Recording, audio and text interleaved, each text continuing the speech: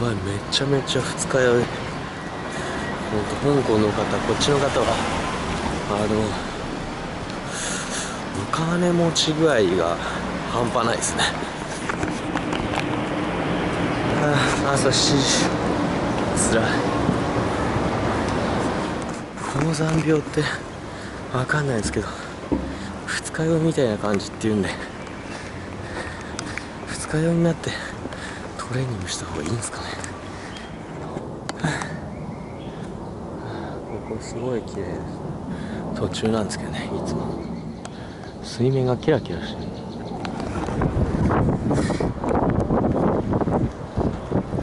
これから、えーシャワー入ってクーロン行きます。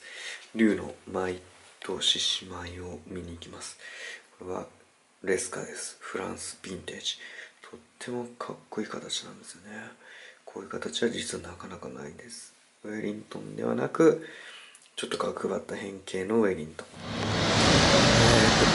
ピークから帰ってシャワーを浴びて今からえー竜の舞を見に行きます。竜の舞はい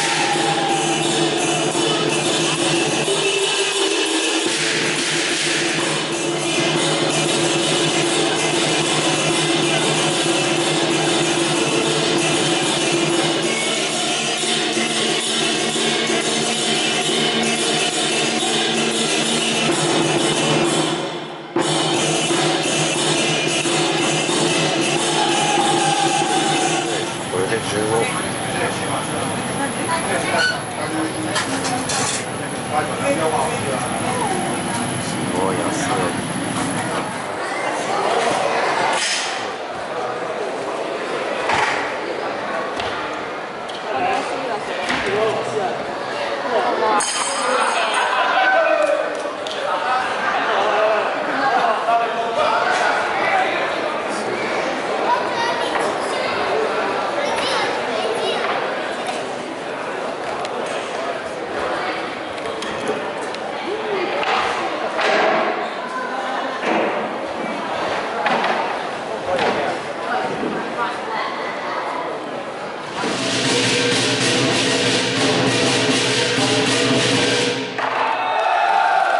ごい人。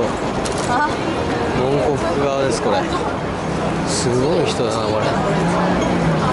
こんなに人がいるんだ。ミニバスに乗りましたサイゴンっていうところに行きます。すごい人がねこれ